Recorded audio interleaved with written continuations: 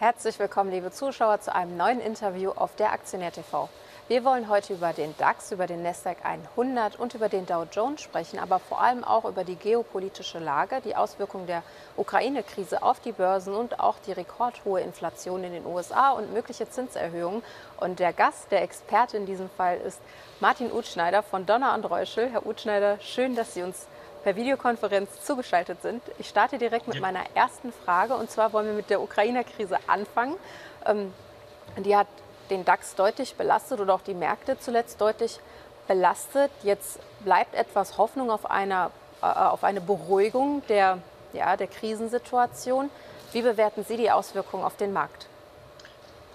Ja, also die, Sie haben es gerade selber gesagt, Frau Anatsch, ähm, die Beruhigung ist da. Wir haben gestern, wir hatten gestern wirklich ein paar Schreckmomente.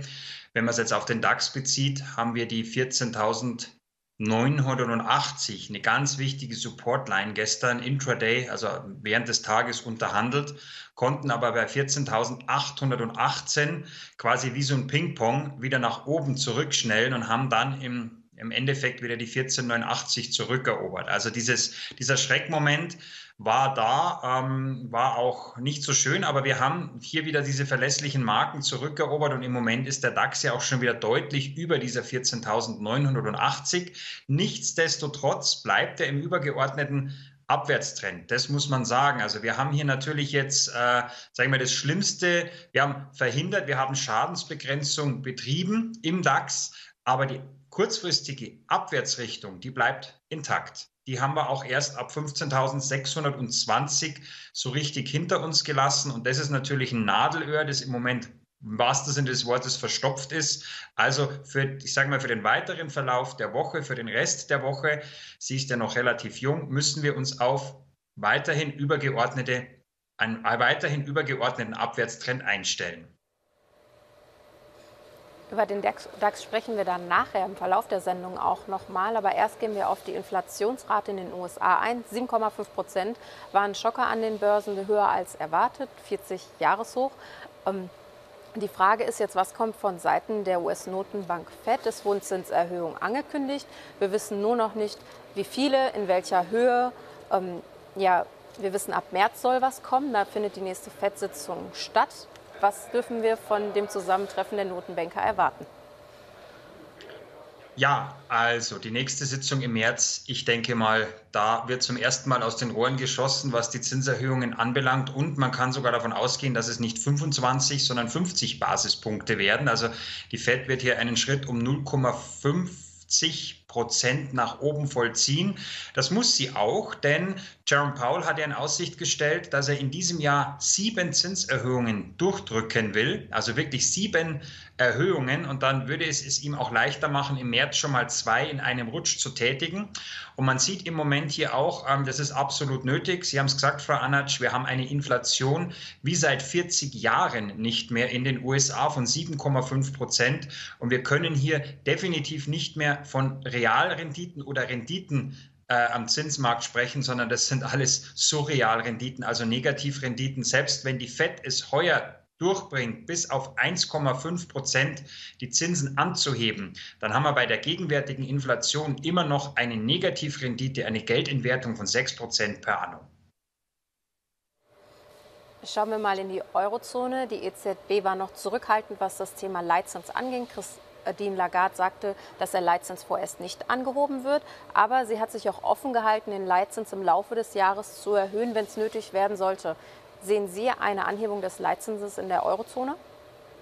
Also ich würde mich nie in die Angelegenheit von Christine Lagarde einmischen und sagen, hey, ich sehe da was, aber man muss, also es war jetzt ironisch, man muss natürlich hier mittlerweile, der Druck ist so hoch äh, bezüglich dieser Dame seitens der Bankenindustrie und der Bankenbranche und auch der Inflationsdaten. Sie kann jetzt nicht mehr umher. Sie hat wohl auch mittlerweile endlich erkannt, dass diese Inflation nicht saisonal oder temporär hier nur auftritt, sondern wir haben eine Inflation jetzt in Europa von 5 Prozent, wir haben einen Nullzins, wir haben hier Geld in Gegenwertung von 5% per anno, also rein rechnerisch wäre in 20 Jahren dann das Geld entwertet.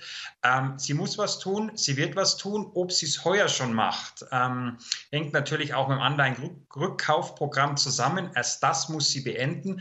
Ich gehe davon aus, und das sieht man auch im Chart der Renditen, den wir nachher noch auflegen werden, das, was zumindest Anfang nächstes Jahr kommen wird. Das Schöne ist, dass sie jetzt mittlerweile schon zwischen den Zeilen gesprochen hat und das natürlich Hoffnung für viele Kleinanleger, für Sparer, aber auch für die Bankenbranche gibt, dass jetzt endlich hier ein Schritt nach oben kommen wird. Herr Utschneider, Sie haben uns gerade schon kleine Einblicke über den DAX äh, gegeben. Wir haben jetzt auch einen Chart. Ähm, der DAX hatte ja einen wirklich schwachen Wochenauftakt. Teilweise, äh, zeitweise ist sogar die Marke von 15.000 Punkten gerissen. Am Dienstagvormittag kletterte der DAX dann wieder über die Marke von 15.300 Punkten. Wie geht es jetzt weiter? Das, wenn wir wüssten, wir Zweige. Aber ja, es ist ähm, das, was ich vorher eingangs schon so oberflächlich ein bisschen versucht habe zu erklären. Es ist ein ja, wir haben das Schlimmste verhindert, wir haben Schadensbegrenzung betrieben. Trotzdem ist der Trend, der charttechnische Trend, man sieht es auch ganz gut am Chart, immer noch intakt. Wir haben hier, wenn man es mit dem Fußballverein vergleichen will, wir haben hier in, ja, im Abstiegskampf jetzt ein Spiel gewonnen, sind aber immer noch im Abwärtsstrudel. Man kann es ganz gut vergleichen mit so einem Verein, der ja nicht, sage ich mal, kämpft hier. Und genauso sehen wir das im DAX. Die Indikatoren sind negativ. Die, äh, wir haben hier ein Verkaufssignal vom Trendfolgeindikator und wir haben ein hohes Volumen. Das heißt, der übergeordnete Trend wird von einem hohen Handelsvolumen begleitet und deswegen bleibt dieser, wie man hier sieht, dieser rot gestrichelte Trend erstmal intakt ähm, ein Überhandel der 15.620. Hier verläuft die obere Linie dieses Abwärtstrends. Hier verlaufen ja 200-Tage-Linie, 100-Tage-Linie und 38er-Tage-Linie auf diesem Niveau. Es verlaufen hier Fibonacci-Linien und, und, und. Also wir haben hier wirklich ein Nadelöhr mit diesen 15.620. Da wird sich der DAX erstmal abarbeiten müssen. Da wird er sich vielleicht auch die Zähne ausbeißen. Und solange wir nicht 15.620 plus X haben, bleiben wir in der übergeordneten Abwärtsbewegung. Die Volatilität bleibt hoch, das Volumen bleibt hoch und auch die Nervosität und auch die Unsicherheit bleibt bis dahin sehr, sehr hoch. Trifft das auch auf den Dow Jones zu? Was sind da Ihre Prognosen? Ja, der Dow Jones, der ist ein bisschen ruhiger. Also der Dow Jones ist wie so, ja, so ein übergeordneter Sägezahn-Seitwärtsmarkt. Man sieht es auch hier ganz gut. Ähm, wir haben hier keine so extreme Abwärtsbewegung wie beim DAX, zuletzt natürlich wieder, aber übergeordnet haben wir den Dow Jones in einer Seitwärtsbewegung. Er hat auch den Support bei 34.000 ganz gut gehalten, hält sich da auch sehr wacker und ähm, hat natürlich jetzt nach oben auch bei 35.800, also knapp 36.000 einen gewissen Deckel. Aber so massiv eine Bewegung wie bei anderen Indizes, beispielsweise dem DAX, sehen wir hier beim Dow Jones nicht. Und wir sehen hier sogar eine gewisse Divergenz zu anderen US-Leitindizes, die durchaus schwächer tendieren im Moment. Also Dow Jones seitwärts, prinzipiell seitwärts, keine so große äh, Abrutschgefahr wie jetzt beispielsweise beim vorher besprochenen DAX 40. Der Nasdaq 100 stand zuletzt ja deutlich unter Druck. Wie könnte es jetzt weitergehen für den Technologieindex? Ja, auch der Nasdaq 100, äh, ich hatte vorher schon das Wort Divergenz in den Mund genommen. Wenn wir jetzt den Nasdaq 100, wenn wir den vergleichen mit dem Dow Jones, also quasi sein Pendant in USA, dann ist das natürlich ein Chartbild, das kann, könnte divergenter fast nicht sein. Ich sage fast nicht.